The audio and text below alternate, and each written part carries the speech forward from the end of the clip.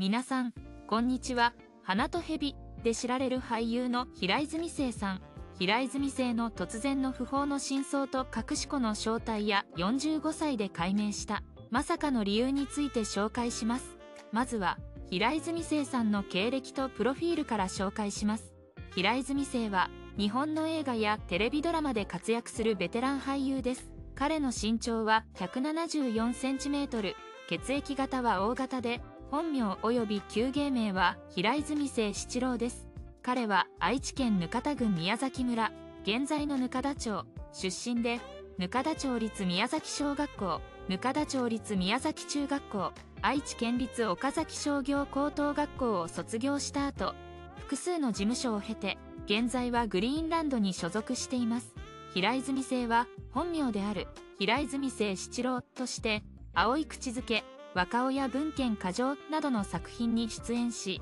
1966年には、酔いどれ博士で平泉聖の芸名を用いて正式にデビューしました。大英特撮映画、大魔神怒る、ガメラ大大魔獣ジャイガーなどにも出演し、さらに大英レコード所属の歌手としても活動し、3枚のシングルをリリースしています。1970年には堂本正樹作、私の可愛いシャワー室で初舞台を踏み、1971年には寺山修司監督の「書を捨てよ蝶へ出よう」に出演しました。1973年には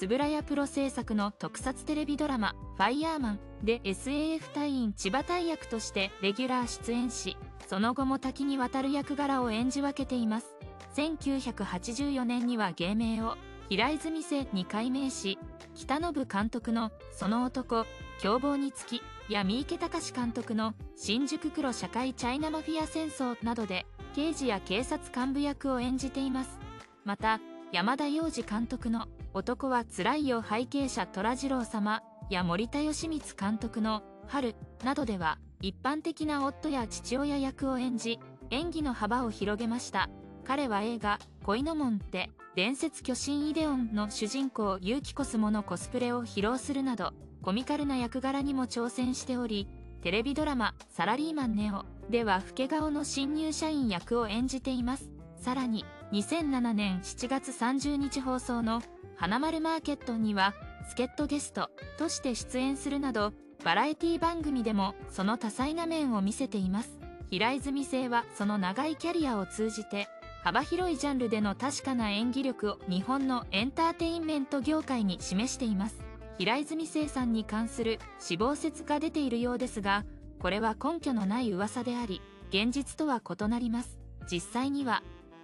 平泉さんは健在で、2023年1月から放送されているドラマ、仕掛け人藤枝梅安でナレーションを務めています。これは彼が現在も活動している明確な証拠であり、79歳でこのような重要な役割を果たしていることからも、彼がまだまだ現役であることがわかります。テレビでの姿を見る機会が減ったとしても、俳優としての活動を控えているわけではなく、彼の演技への情熱は変わらぬものがあると言えるでしょう。ナレーションの仕事は、視聴者にストーリーを深く理解してもらうために非常に重要で、彼の豊かな経験と深みのある声が、ドラマをより魅力的にしています。平泉聖さんは、その長いキャリアを通じて様々な役を演じ分け、日本のエンターテインメント業界に多大な貢献をしてきました。これからも彼の活動から目が離せません。平泉聖さんの経歴と彼が俳優としてのポジショニングをどのように考えているかについてのお話は非常に興味深いものがあります。1964年に大映京都の第4期ニューフェイスとして選ばれ、その後1966年に平泉征として酔いどれ博士で正式に映画デビューを果たしました。長年にわたりテレビ映画舞台など。様々なメディアで活躍してきた平泉さんは1984年に現在の芸名平泉成に改名しました。彼のキャリアにおける大きな転機は平成の時代が始まる直前に訪れました。その時平泉さんは主役が松坂牛であれば自分はそれにはなれない。ステーキの脇にある大根や人参根菜になってやろう。競争の少ないそちらを目指そう。と決意しました。この比喩は彼が主役を追求する代わりに脇役としての道を選びそこで生き生きと活躍することを選んだことを示しています。平泉さんのこの決意は彼の演技キャリアにおける重要な指針となりました。脇役に徹することで彼は独自の存在感を発揮し多くの作品で重要な役割を果たすことができました。このような姿勢は俳優として長く活躍するための知恵であり彼の独特なキャリアパスを形成する大きな要素となっています。彼の作品や演技はどのような役柄であれその物語に欠かせない要素として観客から高く評価されています。平泉成さんの俳優人生は主役にならなくとも脇役として多大な影響を与え長く愛されるキャリアを築くことができることを示しています。平泉成さんのキャリアにおいて真の転機は昭和から平成への元号が変わる約1年前に訪れました。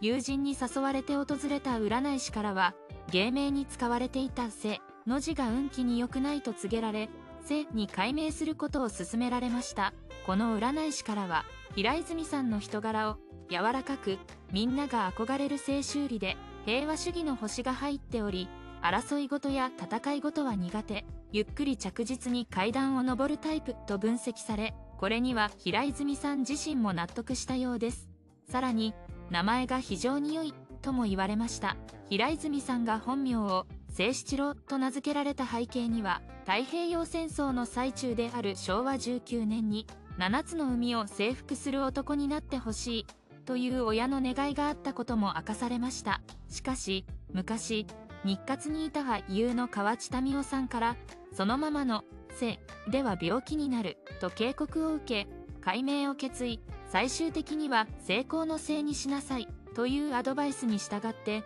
芸名を平泉姓に変更しました。この解明は自身が大根や人参とかの根菜になろうと決意したことと重なり人生におけるギアチェンジの瞬間となりました。元号が平成に変わった際にはテレビを見ていた息子が「お父さん大変平成平成」と叫んだことから自分の時代が来た。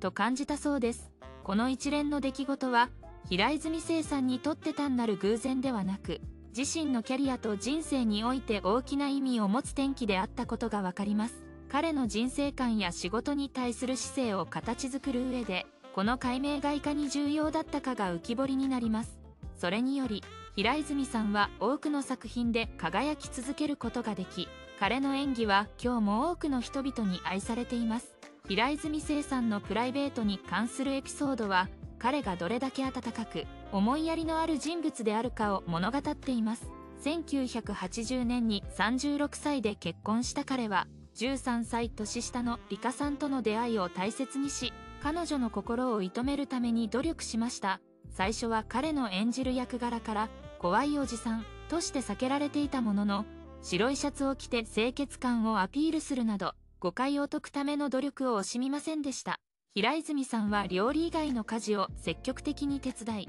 洗濯物を干すのが得意であること食事や買い物年に一度の旅行など夫婦での共同生活を楽しんでいる様子がうかがえます。特に奥さんの誕生日には毎年感謝の気持ちを込めたラブレターを渡すという行為は彼の愛情深さを表していると言えるでしょう。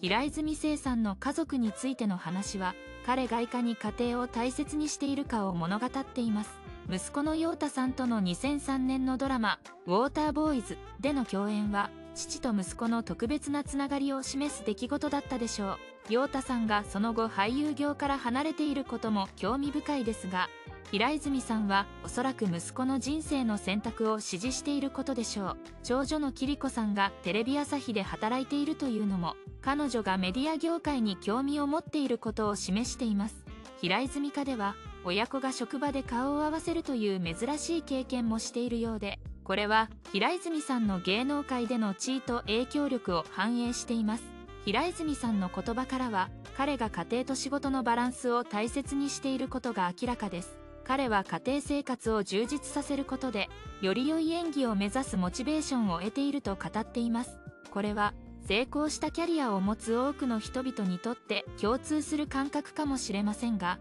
平泉さんの場合は特にその姿勢が際立っています。家族がいるからこそもっといい芝居をしてもっと仕事を頑張らなければという気持ちになれるという平泉さんの考え方は多くの人々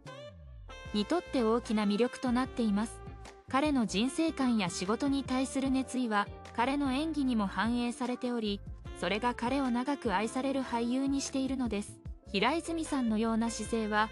多くの人々にとって見習いたい理想の生き方と言えるでしょう。最後までご視聴いただきありがとうございました。何かございましたらコメントください。よかったら高評価とチャンネル登録もよろしくお願いします。ではまた次回でお会いしましょう。